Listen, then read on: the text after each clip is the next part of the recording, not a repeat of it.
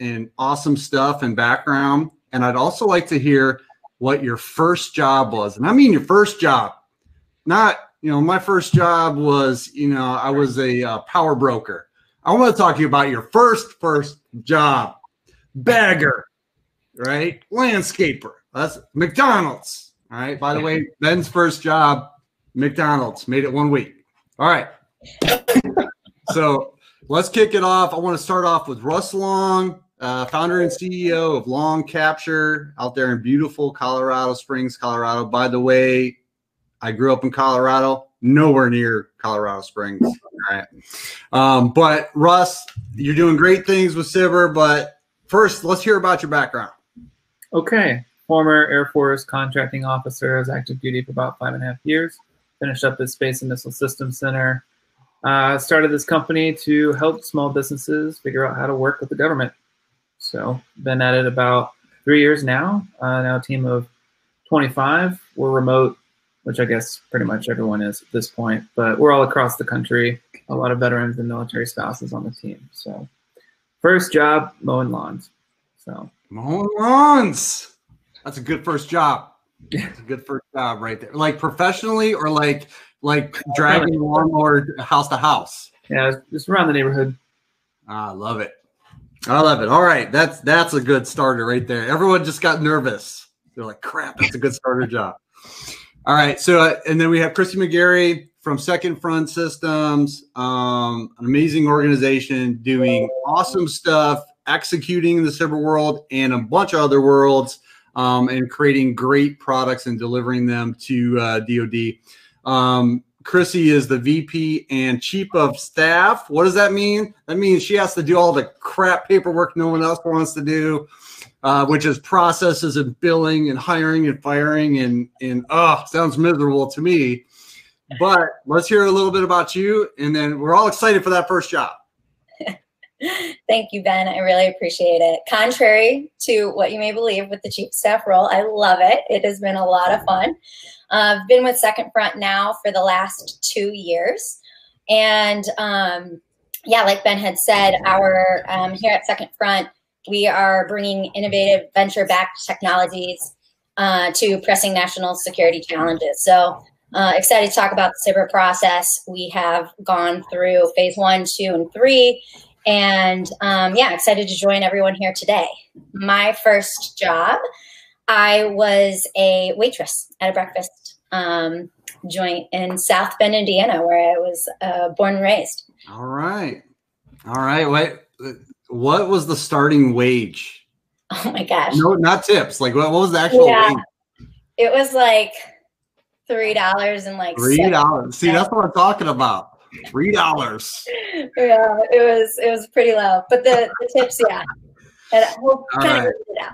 Well, hopefully South Bend treated you right and, and did you right on the tips because three bucks, no one can live on three bucks. Come on. All right.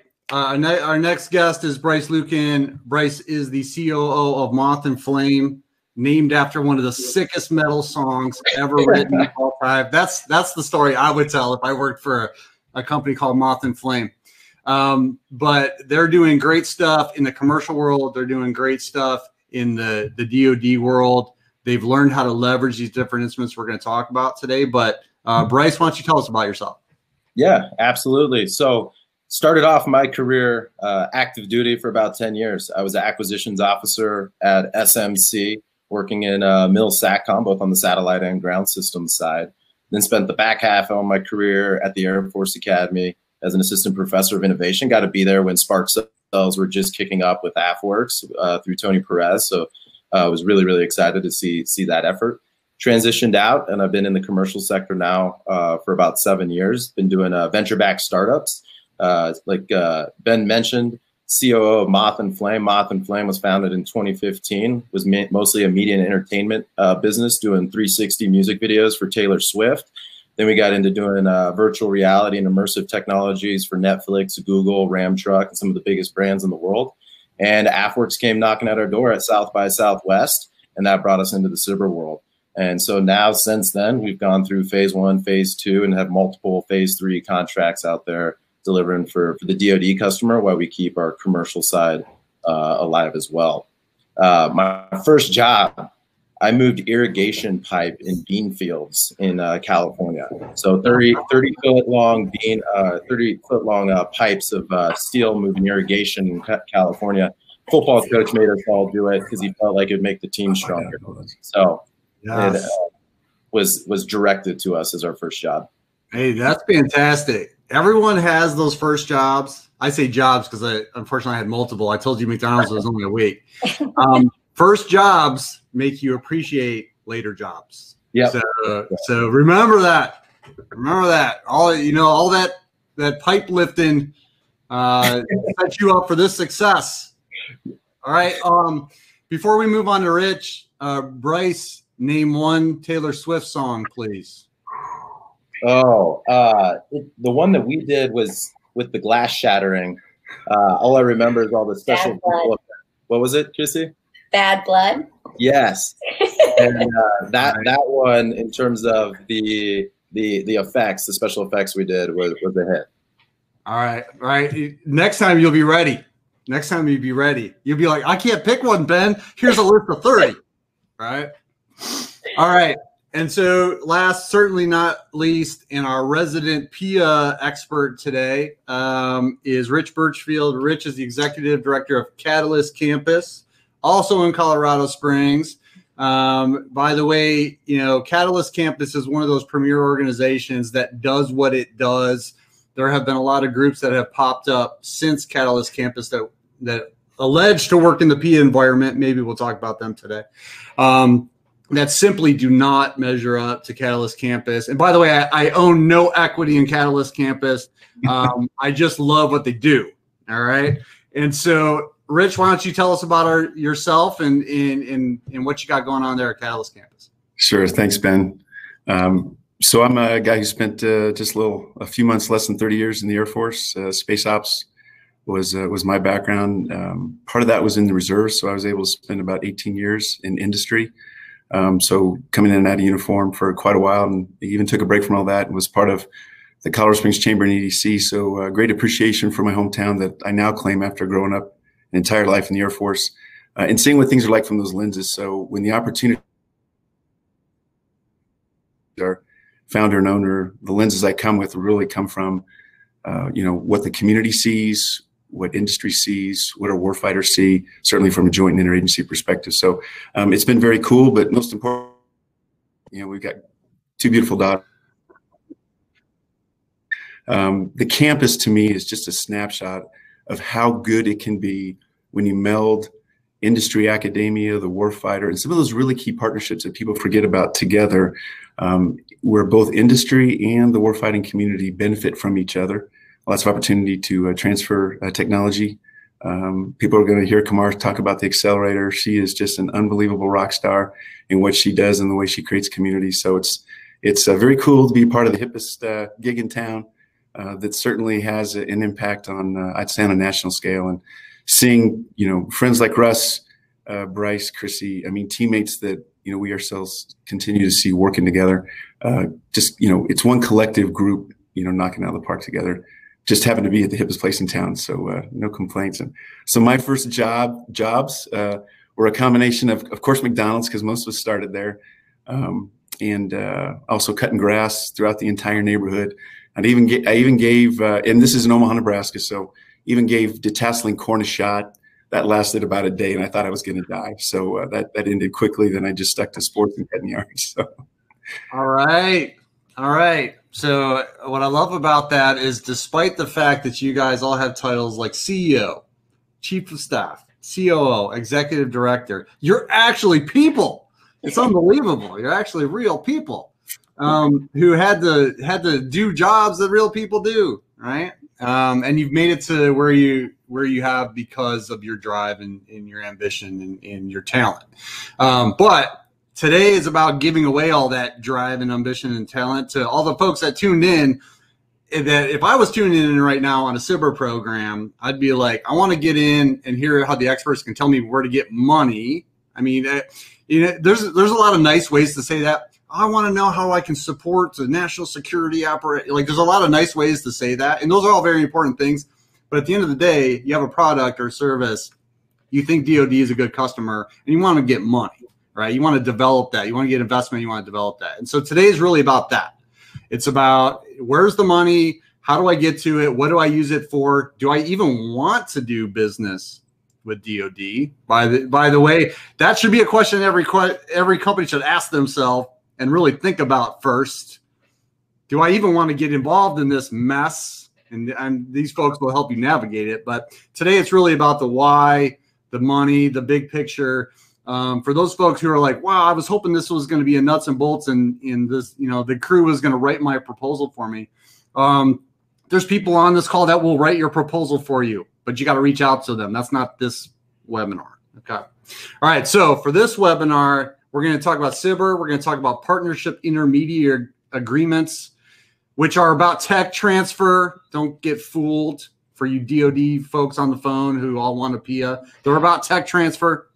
Um, and so we'll talk a little bit about that too. But let's start with some broad questions and kind of go around um, just so people have some background between Chrissy and Russ and Rich and, and Bryce. We have folks that help other folks on the SBIR program. We have folks who have worked the SBIR program from the government side.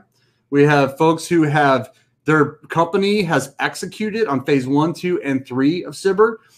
This this group runs the whole gamut of the SBIR program all right three billion dollars right? So so this group has has the intel on on what you need. So if you're going to fire questions please fire questions at me. There's like a million of you on the phone so we probably will answer zero of them. But um, send them anyways and, and if i see a good one i'll, I'll zing somebody. Um, all right so let's start um, i want to start with with bryce because i want to talk about a little higher level piece about being a commercial company and then seeing the the defense side and saying, "Hey, we might want to get involved in the defense side. How the hell do we start?" Uh, can you talk to us a little bit about how a company like Moth and Flame would even end up on in defense work?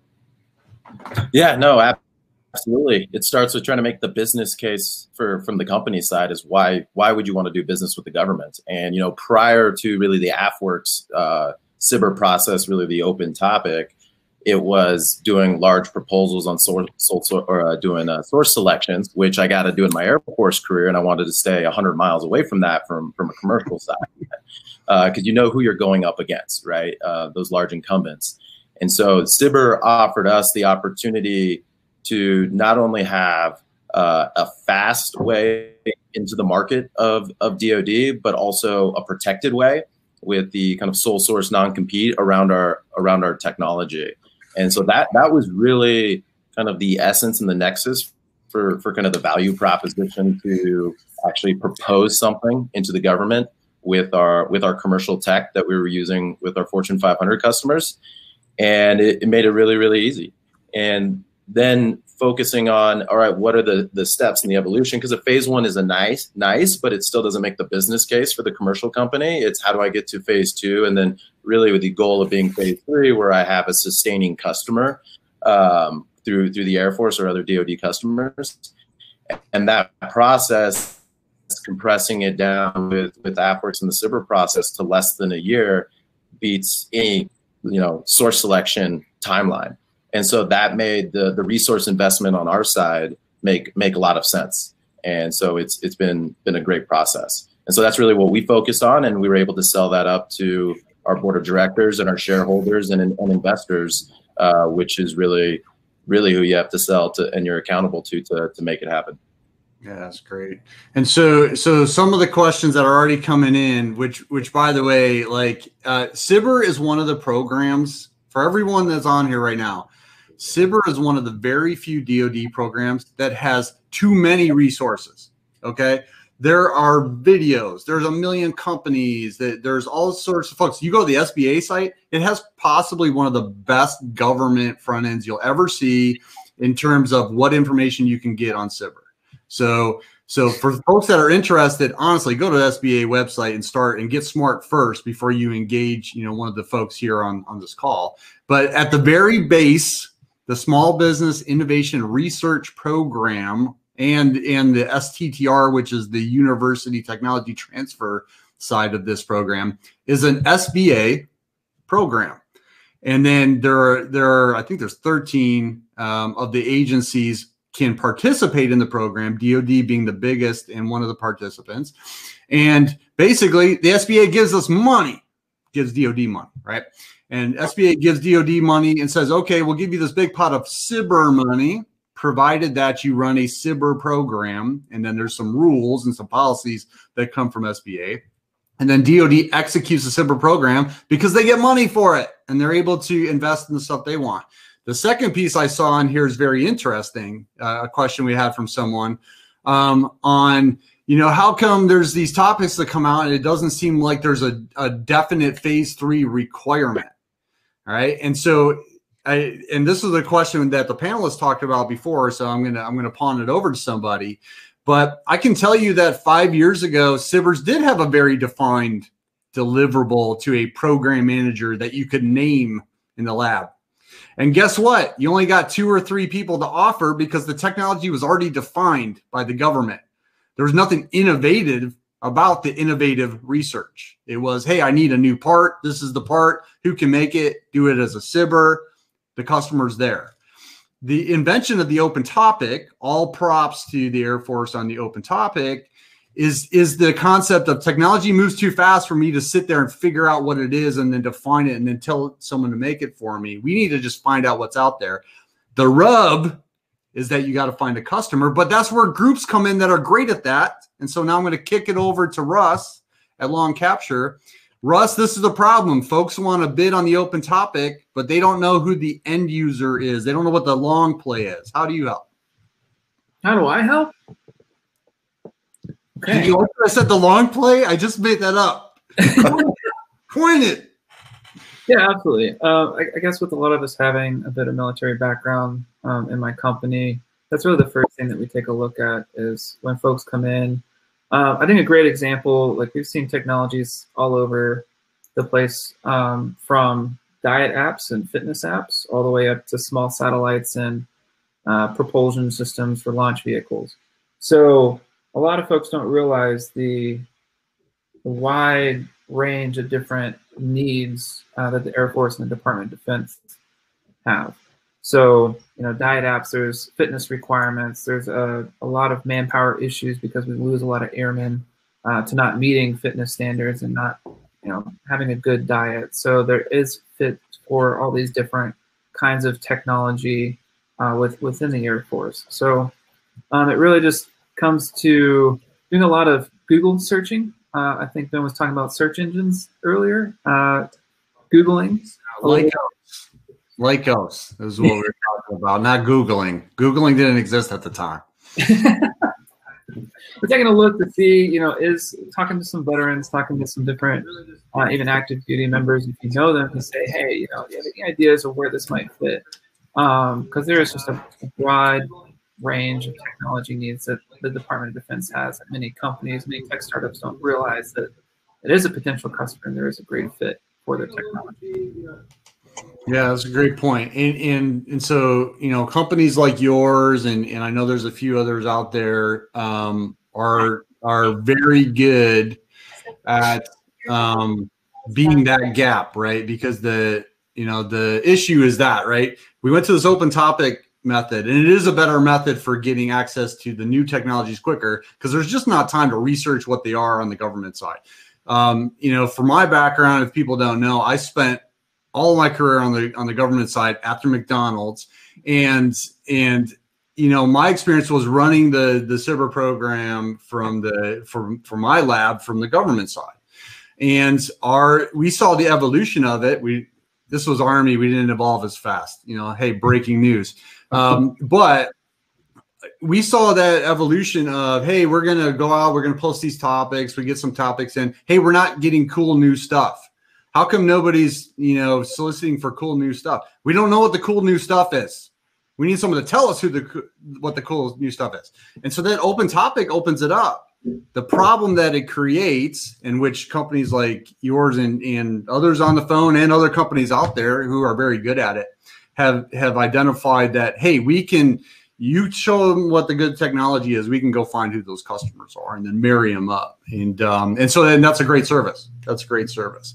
All right. So great questions coming in um, along the right side. I lied and said I was going to answer them, and we're just like plowing through them. So um, we'll keep doing that if you want to throw your questions in there. Shout out to Netscape and AltaVista.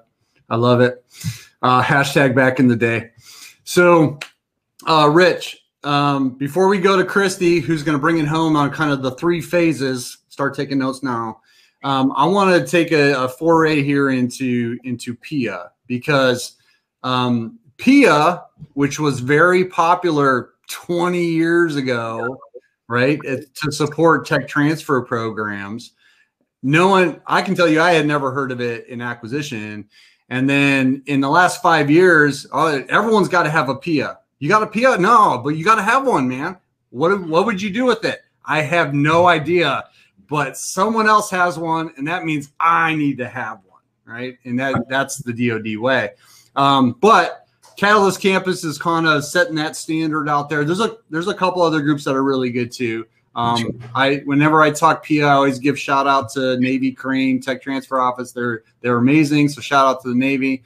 Um, but tell me a little bit about about PIA, people's misunderstanding, and and what I'd like to hear about is what's the interface of PIA and this SBIR program. I mean, they're not a direct interface, but but how do you how do you assist each other with having SBIR and PIA running? Sure. Well, Ben, if it's okay with you, I'll talk about the PIA, but then, um, you know, Russ is really. Oh, hey, Rich, that's not your fault. That, that was technologically challenged. Ben, I muted you. That was oh, me. I just gave you the answer right in there, so you didn't catch that. Damn it. no, actually, if it's okay, um, I'll cover the PIA part, but uh, Russ is a he's a great friend. He's a teammate here in town. Um, and I think he could offer some great insight to that connective tissue between the P and the SBIR, if if if Russ is cool with that. Um, you know, the PIA. So for the baseline for us at Catalyst Campus, our PIA is with Air Force Research Lab, RV um, Space Vehicles Director down in Albuquerque.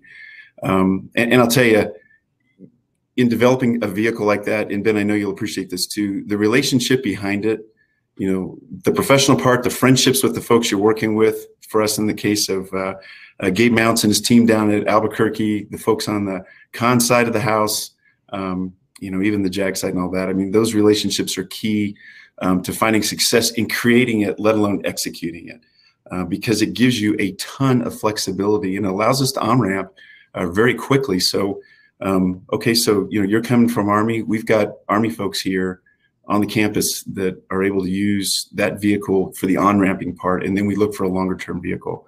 We're working with um, Navy Aegis out on the East Coast. We're working with NIWC PAC on the West Coast. So now we've got our, our teammates in khaki being a part of this too. Um, we've got a wide variety of different companies that either through the SBIR are tying direct, you know, through that are tying into the P to allow them to onboard quickly. Uh, we've and we've got a lot of flex with that, and I think what that does is that matches up with the ecosystem of Catalyst Campus, where we're trying to move quickly. You know, some of you may have heard about this guy named Rob Slaughter. Um, Rob, you know, moves at the he thinks at the speed of light, and you better hang on to your hat and keep up with that pace. And then you throw Nick into the equation, and he's Nick is willing to lean in let's get her done. So they're even looking at creating one at the DoD level, which I think will provide more flexibility and um, dare I say drive a Mack truck through it. But that's what we need right now because um, you know just listening to what you said earlier, Ben, and those of us who grew up in the business, you start to throw in, and it's not a knock. It's it's a culture that I see a lot of people just like on the Air Force side under General Holt, who are trying to change the culture to move quicker for our cons folks to understand at the beginning of the whole process, they are at, they're at the tip of the spear. As quick as they can move, that's how quickly we can create an atmosphere like this to create capability to deliver to the warfighter. Um, and in this case, the Catalyst campus, like you said earlier, it's about transitioning technology both ways. It needs to be a win-win. And so through that, through initially the relationship with the partnership. So, you know, we are the nonprofit partner that this is built for with the active duty side, which happens to be RV. Um, they have been great about thinking jointly, which is so key because in today's world, we all know you, you can't do this as a single service. Uh, and, and it's so cool that we have become this purple environment and quite frankly, become an interagency environment.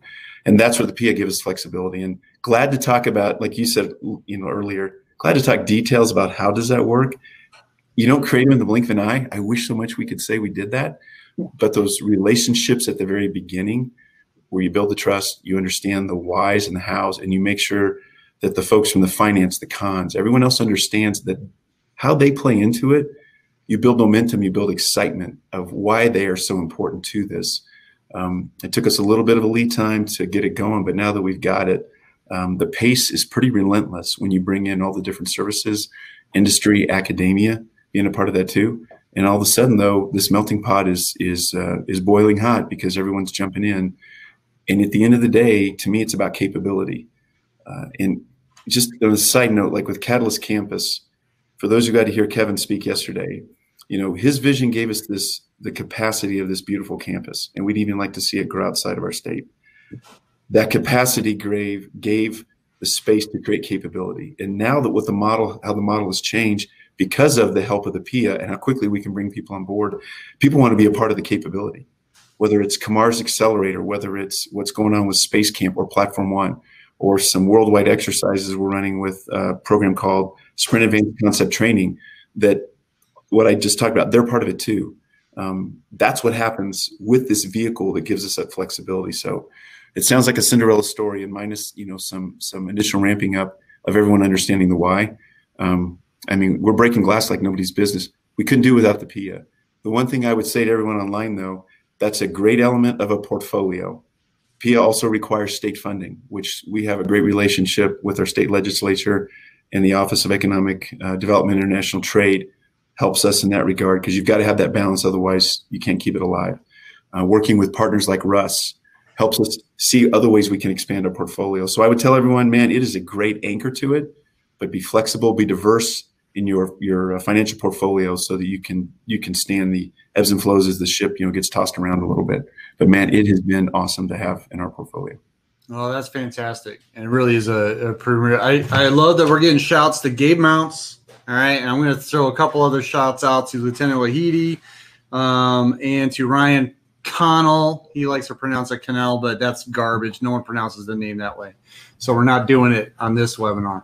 Um, and so, but I'm happy they're tuning in because the question for a lot of the industry folks is, is, and we're seeing in the chat here is, hey, great, I get it. I'm on the webinars, I go to the trainings, I'm on the SBA website. I get it. I do the research.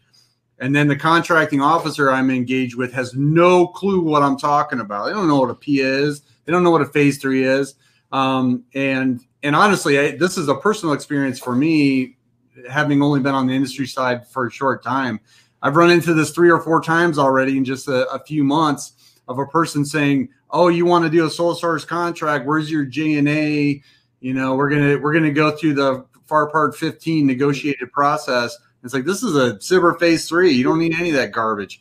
Um, and but whether whether you legally need it or not, you have to train that government person to understand what it is. So it's like double responsibility for industry to train them and then help work walk them through the process. Um, and it is unfortunate, um, but it is persistent. Um, and so that that gets me down to another question. We're gonna we're gonna hit up Chrissy. I'm gonna blast you with the hard one. You're getting the hard one. All right. So so we've talked a lot about the open topic. Um, and so, what's important to me, and I think this came out of our conversation earlier about the open topic, um, is that the open topic is is getting a whole bunch of new people to come and consider uh, Air Force or whoever they're supporting with the open topic, soon to be Army here, um, is getting them to come to the table because they can kind of have some leeway to say, hey, this is what I make, and I think there's some application for it. And let me tell you about the application. Um, at the same time, you know, there's a study study that came out uh, last month uh, showing that new entrants are down. And so, and so we've got this dichotomy of we got a lot of programs that are really ramping up to try to bring in new entrants. Overall, the numbers look down. My opinion is that we just need to throw more money at programs like Open Topic because they're not big enough to withstand the consolidation on the on the, the you know the big the big army, big navy, big air force uh, piece of it. Um, just just Ben's wild opinion, no facts behind that. Um, but some companies are coming to it because of this structure, right? Mm-hmm. Such as Second Front. So why don't you tell us about your story and how Second Front came to uh, to leverage SBIR all the way through all three processes? Yeah, so thank you, Ben. I do want to uh, reiterate how Ben uh, introed me at the beginning, too, though. So I do work at a company where everyone does come with a military, national security, and contracting background. In fact, everyone here on the panel, except for me, comes from that background. I come from the commercial background. In fact, a sales one. So I bring those value to values to my company as a whole, and that's what I try to implement as a Silicon Valley defense startup. So again, all of the the details cyber related, contracting, sole source, etc. That's where I'd lean on my fellow panelists. But um, to Ben's point, these past two years of having worked with the government from the commercial sales perspective, um, there nothing. There doesn't really seem to be anything too logical about it. Uh, to what Ben was saying, uh, just to you know reiterate it some more no one really knew how to purchase. They didn't have an idea of the actions or the process that and, and, what those could bring. No one wants to take on the accountability, the risk, and try something new. The list kind of went on. And there was something from the commercial sales perspective that did stick out, and it is the SBIR program. And the reason why is because um, it, it just seems to be a good process, and it's one that we have set ourselves up against um, and we have run alongside. Um, and it's been successful for us, right? We've been through phase one, two, and three. And the way that AFWERX is running it now, partnering with Platform One, it, it makes perfect sense to go about it in that. So, um, just making sure I didn't cut out there. I heard a funny noise. Um, so, in phase one with AFWERX specifically, uh, so you get 50K, right, if you're awarded. And that helps underwrite your business development expenses to find an Air Force customer who does care about what you're offering. So um, if they're giving you this, then you can engage as a tech company and you can put in the business development effort to truly search and identify and find that customer fit. So you're continuing to iterate on um, what it is that you're building from an engineering perspective and then how you actually pull on those resources to improve your sales efforts. Um, so that just kind of sets you up for success and propels you forward. I believe someone, I, Rich was saying, uh, how do you accelerate through? I would say once you get through that phase one and you get that, and, and if you partner, you know, along with someone like AFWERX, like it really does push you forward. So the open topic was to, to our benefit. Um, and then the other thing, right, is you have two sides of the coin when you're operating as a SaaS company. You are trying to quickly sell the product to the market space, right? To the, to the government. And you're trying to quickly get your product out into the market, create that feedback loop, and iterate on your product to meet those government needs. So as you get into the um, phase two and you start iterating on it, you just gain, you continue to just gain more and more traction.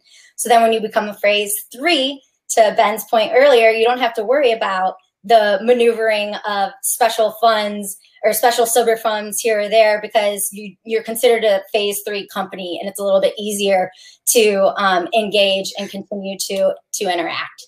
I'm going to stop there because I know Bryce, you've gone through this as well. Is there anything you think that I've missed or anything you think I should highlight?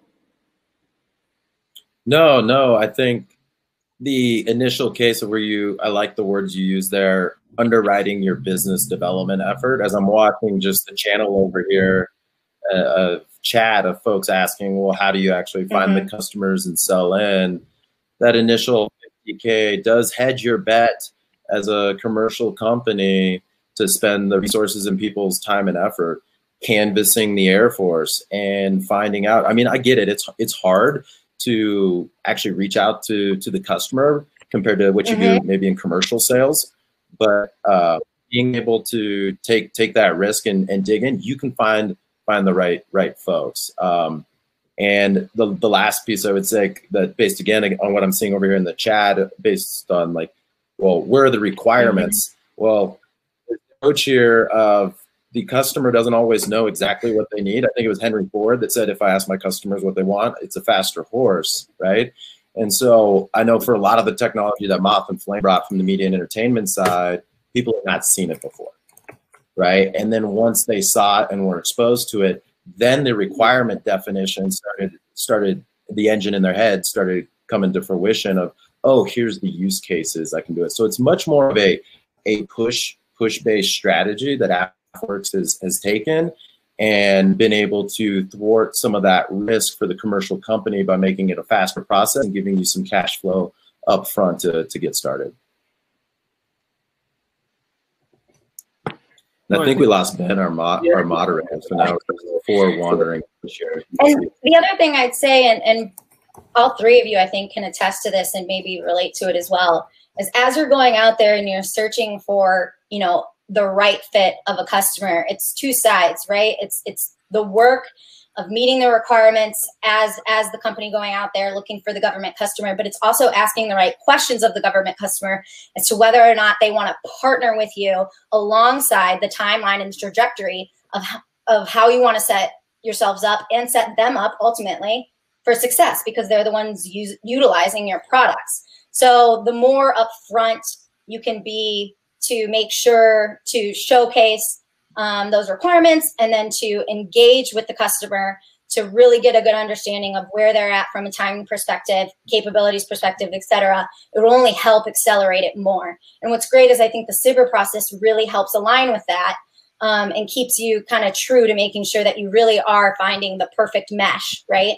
Um, at least that's been that's been our experience, right? Is people understanding where we are as a startup, where we are in our funding, where we are when um, with our actual capabilities and what still needs to be built out and how we're going to use the funds, et cetera. So the more transparent you can be, I think the the better off. And I and correct me if I'm wrong, but I think that's where Russ and Rich come in is helping um, make making sure that you you know hit all of those points and cross those T's and dot those I's uh, to you know maximize your um, awards. Yeah, so I want to throw out a question, I think, for Bryce and Chrissy. So you know, going rewinding the clock to two and a half years ago, there wasn't an AFWERX open topic. Um, SBIR was kind of done the same way uh, for many, many different years. Um, we've seen a lot of changes, and so when I got started, when I first started, you know, talking about the SBIR program, working with it, uh, VCs weren't interested, uh, tech startups weren't interested, and actually, I'd heard a lot of comments from investors where if a company had an SBIR, then they weren't interested in investing in that company. So I think we've seen a lot of changes uh, to the program in the last two years, um, primarily through AFWERX. So I want to talk about, you know, from Bryce and Chrissy, you know, how have you found this program beneficial, but then also what are some of the challenges that still remain? So Bryce, Rich too? Yeah. Rich as well. All right, Bryce. Yeah, I can yeah, I can I can I can kick that one off. And one thing I didn't mention in my intro is I'm still still a reservist uh, at the Pentagon in the Joint Reserve Directorate, and there they're actually looking at how does the government play nicer with technology companies and the venture capital markets to ensure that there's good capital flows uh, and those aren't being infringed on for for the early stage companies when they do business with the government. Because typically there's been a mantra even in the Valley of oh you do you do business with the government they some of the VC firms will kind of kind of step away. But there's some interesting ones out there. I'll throw out one just uh, by name, Harpoon. Uh, they've they've done um, a lot of VC investment in in SBIR SBIR style companies, and what what you have to be able to communicate in the SBIR process is showing how you as a company for those investors you're getting from phase one into phase two. VCs they're smart, they understand that that's R and D, that's one-off, one-time revenue. How do you get to phase three and show that the Air Force, the Army, or the Navy is a sustaining kind of a sustaining customer, right? Mm-hmm. And so that's that's really how you that that phasing process is the most effective way uh, to to be able to sell it back into into your investor base. Um, and that's where you can generate the long longer term contracts that get you the the higher valuations. Exactly, and that's kind of how we, or that is how we positioned ourselves at at Second Front um, Bryce. And we did exactly that, uh, going through the process, getting, you know, building the product, getting it out there, iterating on it based off of the feedback the government was able to give us to then, you know, raise and close our seed round in the last two months. Um, so I couldn't, yeah, I couldn't agree with you more there. Yeah, and I think Russ, when you asked kind of what's what are the kind of the hurdles or or roadblocks as well as kind of the gains. You know, AFWERX has has made it so that the VCs can have been able to match or come in and participate in the SBIR process. So companies have taken advantage of that. I think that's definitely a positive thing where the VCs have seen leverage now to their capital. I put in a dollar and additional leverage is coming in on the deal with me. They like that. Um, also, they like it. What our, our company's strategy was was not to take uh, the next round of investment as we came into government business, but hold off till we built the business with the government and use that to show long-term traction and sustainability in that in that customer base and those revenues. And so there's really kind of two strategies there that, that, that a company can can take. And AFWERX and the SBIR process is opened up in a way to allow uh, for that level of participation. Cool. And I want to try and connect a couple dots here because Rich was talking about PIAs, obviously, uh, Platform One, you know, this whole theme today. So um, with the PIA, we've really been able to leverage SBIRs. So we set up the PIA, you know, Catalyst has been executing running accelerators, doing some really cool stuff, leveraging that tool. And then, for example, they'll run the accelerator, bring in a bunch of commercially focused companies who may not have worked with the uh, Department of Defense or Air Force before. And a lot of times, the tool that we're using on the back end of those accelerators and these different innovation efforts is to go after these SBIR, um, especially AFWERX open topics. Uh, so that has been a huge avenue to really uh, take a lot of these innovation efforts to the next next level. And the same uh, can be said for Platform One. We've you know they're trying to bring in a lot of different commercial talent and expertise, software developers. So SBIR has been a huge tool either to get some initial funding and just provide some bodies and some time to get some traction working with the government, providing that solution uh, to the Department of Defense. And then from there, um, you know, jump into phase three is have that sole source ability. I wanted considering getting into a conversation with uh, Ben about other transactions and sole source and stuff, but we won't we won't dive into that because we lost lost Ben. I wanted to harass him. He used to do a bunch on OTAs. Um, and real quick, so that that's I think kind of ties the pieces together. Um, SBIR has been a huge tool for Catalyst, for the PIA, for Platform One to really bring in industry uh, and, and get them traction to start working with Department of Defense. Um, the other piece, I've seen a couple different questions, both on kind of the government side uh, and on some, I think, primes that are looking to partner on SBIR. So AFWERX, especially to this open topic, I think has published a list on their website of all the companies that have won uh, a phase one contract. So that means they have the sole source ability. Um, they've at least you know done their registrations, are a little familiar with how to do business with the government. Um, but that list is out there on the AFWERX site. That's at least one starting point to find other companies to potentially partner with, or that you can easily leverage and bring into your your programs of record or whatever it, it might be. Um, so that's all. I'm, I'm, I'm off my soapbox. So Bryce or Rich, is there anything else, or Chrissy, any, anything else you want to add to that, or any other topics that, that you really wanted to hit on today that we didn't get into?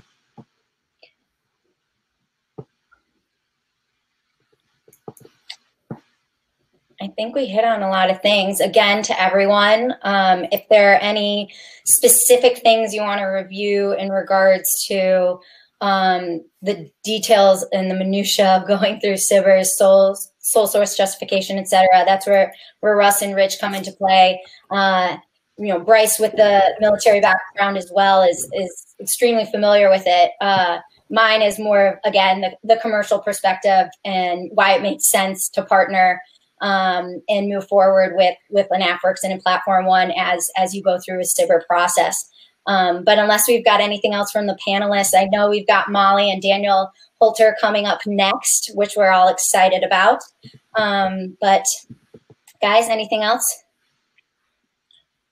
I guess my I'll I'll use my closing thought to actually answer somebody's question that I noticed didn't go. Rick Boyd over there had uh, how do we point our government POCs to understand how to utilize phase three contracting capability? I think this brings up a, a broader broader point. Um, as a SBIR company, you have to actually become an expert uh, or work with folks like like Russ, Rich, Chrissy that are experts to get educated. because the government is big. Not everybody knows how to use everything that's available to to them. Um, so I will I will tell you, even as the contractor, we've had to play the game of educator, uh, even with uh, not necessarily the end user, the direct customer, but everybody in the big process um, along the way.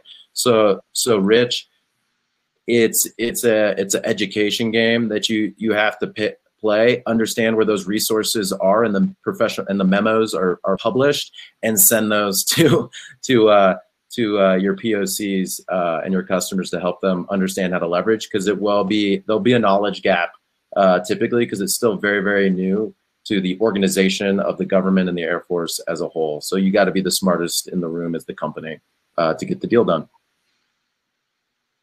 Bryce or um, Russ, anything? You know, I already went off on my soapbox. I'm trying to. no. Well, thanks everyone again for joining. We are going to pass it back to Molly Kane here. Again, um, Daniel Holzer coming up. And um, yeah, please reach out to us. Oh, there's Molly. No. You're back. Uh, yeah, yeah. please reach out to us. Thank you guys so much. Appreciate your time. Um, I apologize for all the technical difficulties. I know you guys were seeing uh, Chrissy make ins and outs appearances and then we totally lost Rust and, or not Rust, Rich, and then Ben disappeared halfway in the middle. Um, thank you, Ben. Thank you, Rich. Thank you, Russ. Thank you, Bryce. Thank you, Chrissy. You guys are awesome. Um, and you can hit the leave button. I know. Um, did you guys give your contact info? Everybody knows how to get a hold of you. You I posted mine. In, awesome. Yeah, I posted mine in the chat. Very cool. Um, thank you again for your time, and uh, hope hope everybody can stick around. We have two tracks coming up, and I think Daniel is going to join me. Once I get it, okay. Uh, let me let me peek backstage and see if Daniel is hopping in. All right. Um, Next up, you guys, we've got the idea hack. If you're not familiar with it, oh, perfect timing. Hello, Daniel. I don't know if you can hear me. I can hear you. Sorry, I'm like dealing with technical issues in the, in the background. the story, the story of Tuesday is totally fine. Um, all right, so I am going to, Daniel, would you like to tell the room? We've got about 250 folks. I'm sure we'll have a lot more as they come in. Um, but do you want to talk a little bit about the idea hack? And then I'm going to send you, when you're done with that, I'm going to send you over into the left side of the screen where it says sessions. So if anybody is planning on joining the idea hack, that's where Daniel is headed. All right, yeah. Hello, everybody. My name is Daniel, um, and we are doing an idea hack. The idea being that we're going to spend, I think it's going to be four hours, exploring the idea of how we can uh, modernize how software is purchased and licenses are procured in the DoD. Um, and what that's going to look like, I'm sharing my uh, Miro board here really quick is it's going to be about four hours of exercise where we are a little bit of warm up to get everybody into the right headspace. We're going to look at all of the potential stakeholders who are involved in that. Is my screen mirrored, by the way, behind me, or does it look mm-hmm. normal to you? Yep, I can see. You look. Oh, it's good. Cool. Yeah. Um, we're going to be looking at kind of the underlying problems and assumptions and mental models that cause the problem to be the way that it is. We're going to converge on some how might we statements um, to, to figure out what are some different avenues that we could get after this. And then we're going to come up with some ideas for what might uh, solve this through through a couple of different avenues. Then we're going to break out into Jitsi rooms, um, which are just small chat rooms where people can refine those ideas. This will not be a pitch. There is no um, there there is no maintenance of intellectual property. This is just people sharing ideas for how to get after this problem.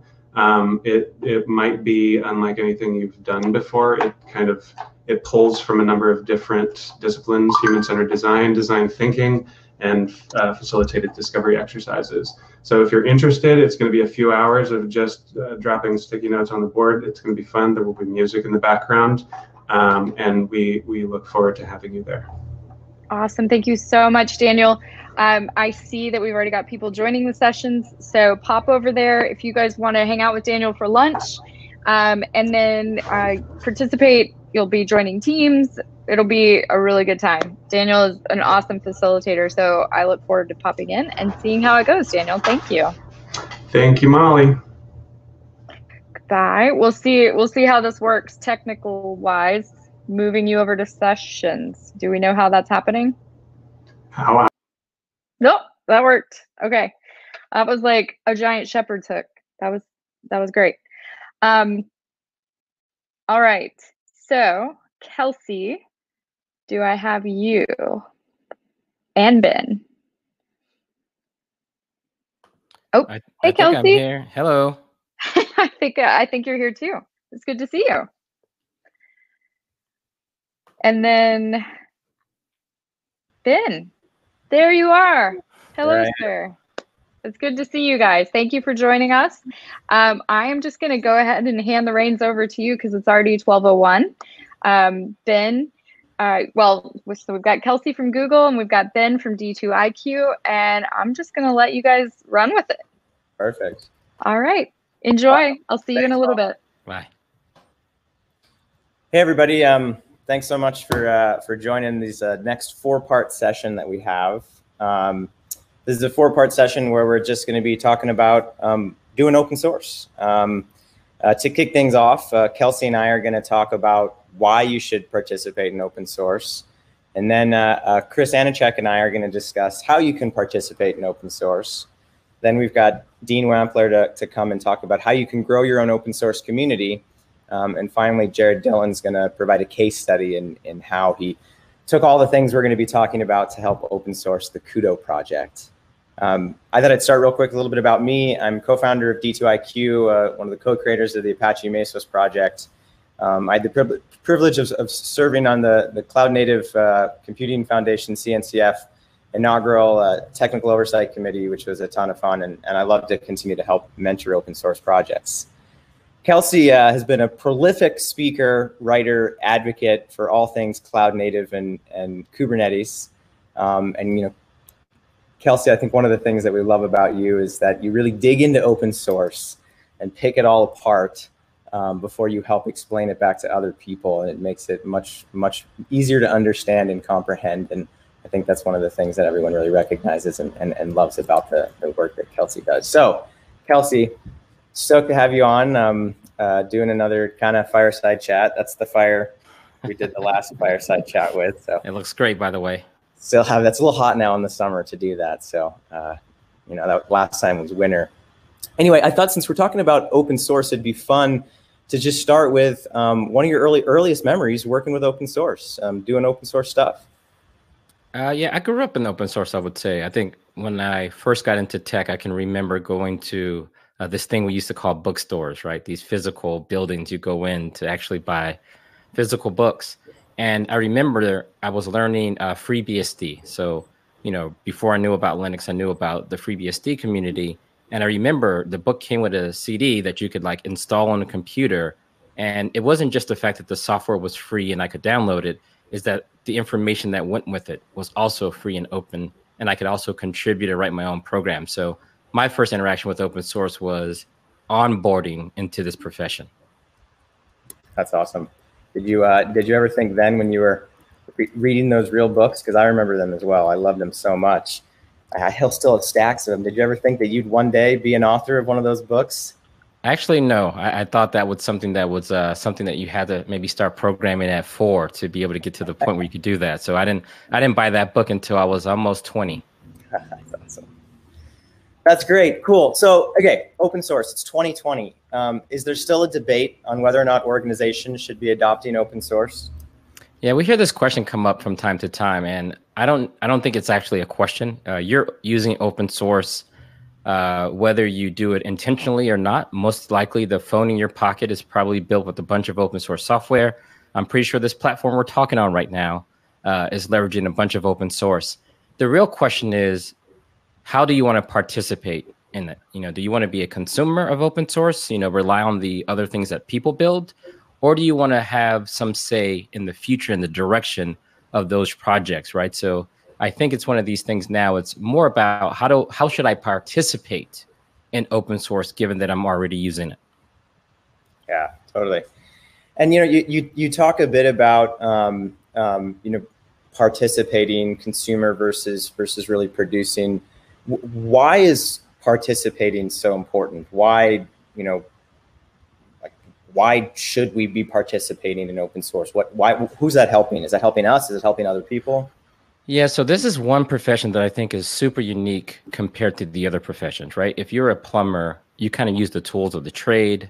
Uh, maybe you go buy them off the shelf, and very rarely do you get to uh, decide how those tools should be built, how they should work. There's going to be a few inventors amongst the plumber profession, but in our profession, a lot of times the tools we need are meant to kind of glue and uh, solve very unique problems, maybe for a unique set of time. And there's a couple of ways you can go about it. One is you can try to find the perfect piece of software for all of your needs, right? Most companies are probably running hundreds of various software applications. And one thing that we all know from doing this is that it's almost impossible to find a piece of software that just works 100% the way you want, whether it's from the UI, how it looks and feel, or the workflows that it provides, or how it integrates to how your company works. There's always this bit of a delta between the thing you buy and what you want to do. In the open source world, you actually have the opportunity to change the software to meet your particular needs. And I think that's where the real game changer is. So for people that have found a way to not only download these free and open source projects, but to write code and contribute, there's a couple of ways you can go about that. One is sometimes the whole benefit is just to scratch your own itch. You download the software, maybe you keep your changes local and private to yourself. Uh, that's great. But if you think about being a good open source citizen, this stuff should come full circle. There are times where the fact that you could download someone else's work and maybe build on top of that, it would be nice to reciprocate that and share your work with others to allow this stuff to become sustainable. Yeah, so so you know, I I I'd love it if, if you could could dig in a little bit on um, you know the the the dilemma that I feel like a lot of people hit with open source, where they they found some software which maybe out there is 75% what they need, but it's not enough. And then they kind of have this option, right? They build the whole thing themselves or they figure out how to engage with the community. And I think some people sometimes are turned away from, you know, engaging with the community and then we either rebuild things from scratch or, or, or you know, don't make the existing software better you know, what are some, some, some, some words, some thoughts that you have for, for how people can, can navigate that, that situation? This comes up a bit because I think a lot of people traditionally have bought software from a large provider, right? So the sustainability became as long as it's from a big company, they'll be around long enough for me to continue to buy that software and get support. Uh, what we've seen though over time though is that sometimes there is no motivation for that big vendor to push you forward push what you can do forward. So it gets into this life cycle of you bought this software 15 years ago and it changes very little. What we actually see is that innovation happens outside of your one particular vendor. innovation happens outside of your particular wall. So what happens is when you look at the large array of software that's available, no one's really stopping to check on how fast they can go, right? Can I move at the pace of Oracle? Can I move at the pace of Google? a lot of times people are just moving at the pace of their own needs or what other people need outside of those ecosystems. So I think when you kind of look and you pay attention to that, you almost have no choice but to pay attention to what tools become available and make a point in time decision. Is it time for me to leverage that? And if it makes sense, you can bring it in. So I think it's one of those things where we don't necessarily control the pace of technology, but we can totally be left behind if we keep our head in the sand and try to pretend that we can live in our own technology islands and then look up every once in a while, you might find yourself left behind. Yeah, totally. I, I, I know, um, you know, you, you, you, you know, from conversations you and I have had, you talk about, you know, there's, there's really smart people at Google and there's really smart people at lots of other companies as well. And, uh, you know, if, if you, if you don't pay attention, um, every company leverages somebody else's piece of open source. Um, yeah, it's just a big menu available, and uh, it's not up to you to decide uh, what people get to see and or adopt. Yeah, totally. So you know, you, you, talked to you mentioned this a little earlier, and I, I thought we we dig into it a little bit more because I think it it ends up being one of the interesting parts of open source. Um, you know, sometimes people talk about open source software. Um, sometimes people talk about open source communities um, that have open source software. Um, and, and, and, and, and really, you know, there's also this question of there's people consuming just part of the community consuming it or just consuming open source software. And then there's people that are ultimately producing open source software. Um, and I don't know, sometimes I feel like there's a stigma around, you know, you're not really doing a good enough job if you're also not producing, you know, if you're consuming, you're just kind of a leech, you know. So I, am curious you know, your thoughts on the dynamic of just just open sourcing versus creating open source communities, just being a consumer versus having to produce. Yeah, this is an area where I probably get in trouble uh, with the the purists in the open source community. I believe that open source doesn't require a logo, doesn't require a community, it doesn't require a conference, and it actually doesn't even require co collaboration. I think there's a situation where just the act of sharing, right? Some people write a white paper and say, here's our case study of how we solved a particular set of problems. Uh, some people will back that case study with software in a way that says, hey, look, we're going to share this software. We are not going to review your issues. We are not going to try to figure out to take your features and involve it. And having that as an option will allow more companies to share because it is a monumental effort in some cases, especially for very popular projects if you think about projects like Kubernetes, Android, TensorFlow, and most of the programming languages out there, it's just nonstop in terms of feature requests, code that needs to be reviewed and merged. And a lot of times that's not what people are signing up for. So there's always this option of sharing what you've built, allowing people to fork that software. So this is why I think it's important in the open source community to have these licenses that allow people to take that software and modify it how it sees fit, removing the burden from you because maybe that's not what you signed up for, but you still want to give the foundation for innovation for other people so they're not starting from scratch. Now, there's another world where you do want to grow adoption. Now, this is where you have to be very careful about sustainability. a lot of people will launch a brand new project and they don't think about what happens when we no longer use the project ourselves. Will we still want to be signing up for maintenance? will we still want to own the logo and the trademark? Those are things that don't really creep into the picture until long term, maybe two or three years, maybe even five years after a project is gone. And what happens when the people that started the project are no longer interested? So having a plan for that, and I think later on in the day, uh, we'll talk about foundations and other efforts to make these projects super sustainable. Yeah, yeah, that's that's exactly right. Yeah, we're going to dive in with Chris and hear all about what possible licenses you might want to pick and and yeah, you know, it, it's it, it's interesting. I, I, like that you you call out that maybe with some of the open source purists out there, you you uh, you might clash in, in the perspective of, hey, just just share. Um, but you know, I, I I think that the reality is is and, and I, I know you you you you and I have chatted about this and you said this as well. Open source is it's an ongoing science experiment, right? You know, and and by sharing, um, it, it enables other people to possibly build on your results, right? You know, see your scientific method and and uh, and I think if it's really clear how you've shared that you're sharing and saying, hey, you know, it's it's one of the rare places where I'm reminded that humans as a whole tend to care about each other. We tend to want the best for each other, regardless of our differences. And the fact that software really doesn't you know talk back to us it doesn't hold any opinions it's one place still maybe arts is another music is another but it's one place where we don't necessarily have to compete for winner takes all there are things that we come up with in this world that are worth sharing with other people especially tools that allow them to continue to do that the same so i think when you think about software the very act of writing it it's a way of serializing a lot of our ideas in a way that can be used by others. Speech is another way that we do this. We serialize our ideas into books, into movies. Um, and we talked about it before where not a lot of people can make movies because the equipment required, the lights, the cameras, all the people who need to know how to do it, the editing process.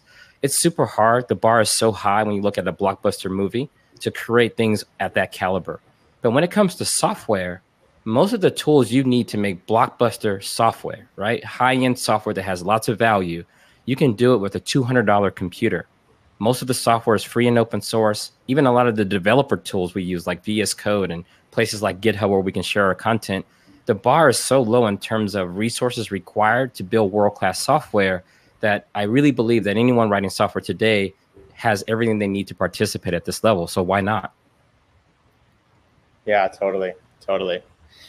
Yeah, you know, and, and I, I guess along those lines, um, you know, one of, and, and you mentioned this earlier, but I, I thought we'd, we'd dig into it a little bit. I think one of the, the criticisms from the open source purists on why not to just put software out there is that software is really hard to maintain. Um, and, you know, all of us have had that experience where we've grabbed some piece of software, we've, you know, used it in our project, and then at some point there's been some massive bug and we've reached out to the maintainer, you know, we've reached out to who we expected the maintainer and, and sort of gotten, uh, you know, hey, sorry, like that's, that's, you know, not something I'm working on or it's, or it's not my problem. And, and I sort of feel like in those circumstances, there really can be two, two, two things we can do. One is we can say, well, let's participate. Let's, let's, you know, fork or evolve that open source project. Or the other one, which I think happens too often is people are like, this is why I didn't want to use open source software. Yeah, I think yeah, this is the big dilemma. So someone asked like how can a large company contribute back to open source? And I think there's so many avenues. One, there's going to be the avenue of you know, you could hire people from these open source communities. I know so many people who contribute to open source who would love to work on it full time. So you can imagine hiring people from these communities. Let's say you're relying on an open source database to store all your critical data and there are many ways to go about making sure that that project is sustainable. There are some companies who have taken on maybe hiring one or two people from the community and giving them a full time paycheck where they can continue to contribute. Maybe you have to figure out the ratio. Maybe they do 70% pure open source work, and maybe 30% they're your expertise within your four walls to make sure you're leveraging that project in a way that most support contracts could never meet. The other way I think is to make sure that if there's a way to sponsor other bug fixes, um, anything that you need. I think there's ways of doing things like security reviews. Uh, a lot of companies have said, hey, is this software secure? Well, we can answer that question. One way to answer that question is you can pay for independent security audit.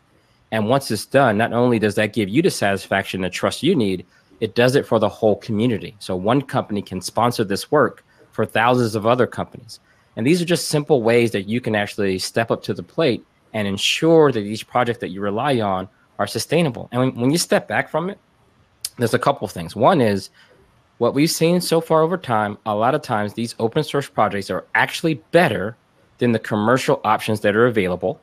And then second, the amount of uh, I guess innovation and the pace that they're on, it doesn't rely on you to try to figure it out by yourself, and it doesn't rely on one vendor to figure everything out by themselves. So so far, these projects have stood the test of time, and you can do a lot to make sure that they're sustainable. Yeah, totally. And I, I, I think it's true. You know, there's there's definitely a um, one of the things in, in my experience is that when you do dig in to an open source project, it's often you find other people that then come out and say, you know, I was thinking about doing that too, and communities can quickly form. Sometimes it just takes that first step, that first leap of, you know what, let's let's put some more time and effort into this, and other people other people rally around. So always a reminder of just of, of just trying.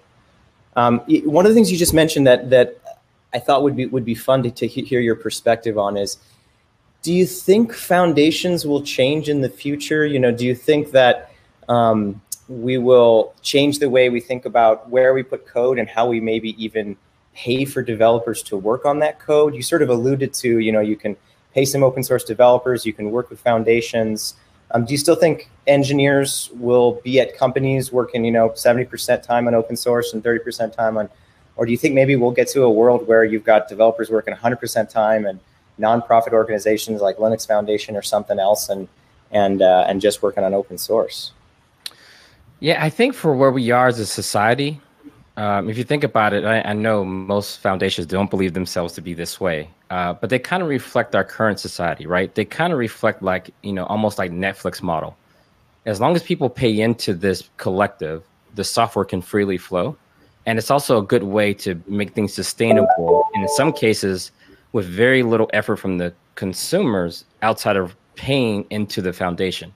And I know a lot of people say, oh, that sounds bad. But the honest truth is, sometimes it's the most convenient structure to have a proxy, collect revenue, and make sure that all the projects supported by that particular entity are sustainable. And I think as a society, that's probably uh, the best suited for the way we currently work. There might be a time where you know we all have to pay attention where a lot of this work may be taken up by the bigger cloud providers. It may be taken up by some of the biggest uh, companies out there because a lot of these companies are now showing up and they're building some of the most innovative software. They're paying for the engineering talent, and now we just have to keep an eye on their ability to keep it sustainable. Again, if they were to lose interest, who's going to pick it up and take ownership of these projects?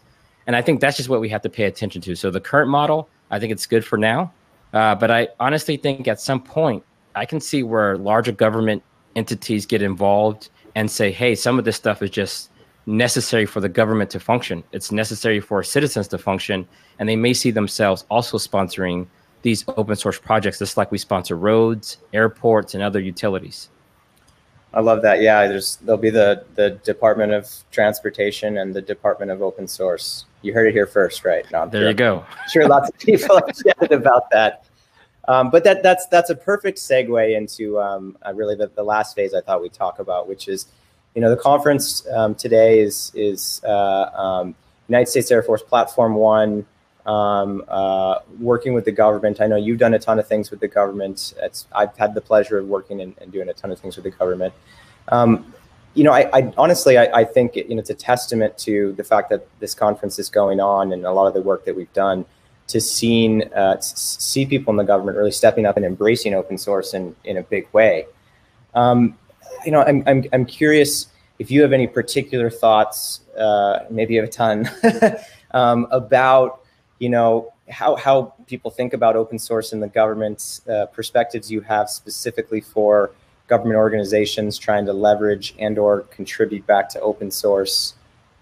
Yeah, I would say, you know, as a U.S. citizen, um, we're we're really proud of our country when we see things like the the moon landing, when we see innovation at a scale that we know only a large collective can never execute on.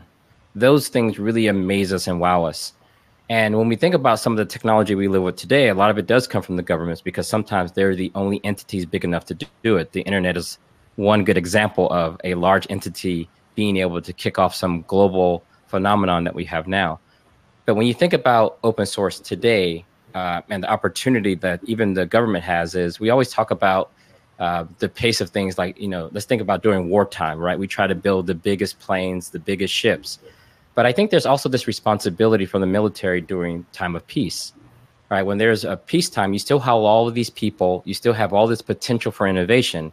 And I think during peacetime is where we can really, really double down and invest in things like open source and when we say open source, we're not just talking about writing random code for random reasons.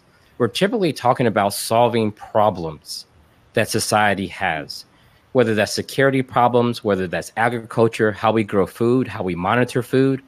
All of these particular problems have the potential to be combined with automation and technology. And a lot of times, the glue between our ideas and the hardware that executes them is the software in between. And that software in between, I think, is where government bodies, military, all of these people can participate because they understand these problems at that scale. So imagine taking those brightest minds and having them solve these large problems with that marriage of software and idea. And I think that's just where the potential is. Yeah, that's that's really really exciting to think about. Um, it, it, it, was really fun to to watch. Um, I don't know if you watched. I'm sure you did, but uh, NASA and and, and SpaceX uh, uh, this summer that was definitely a highlight for me, and and it did took took me back to um, you know a lot of memories of growing up as well of uh, thinking of all that, and you know one of the reasons why I've always been a huge advocate for supporting the government and and all, all the great work work that they're doing. Okay. Um, I think we'll, we'll wrap it up now. Um, any final thoughts that you'd love to share? Um, I uh, really appreciate you coming on and, and kind of giving perspectives on, on, on you know, why we really need to be participating in open source. And um, I'd love for you to share any final thoughts, and, and then we'll uh, we'll do a big Q and A at the end as well. Yeah, I think a lot of us have great ideas, but you know they don't really go very far unless people can see them and benefit from them. So I think open source is one great way to channel your ideas into something that's tangible that can benefit society as a whole. Awesome, Kelsey. Thanks so much. Really appreciate you doing this chat with me. We'll be doing the QA later, and um, uh, we'll be back in just a second with uh, Chris to transition from, you know, why you should really be participating in open source to to how you can do it. Um, so be back in just a sec, everybody.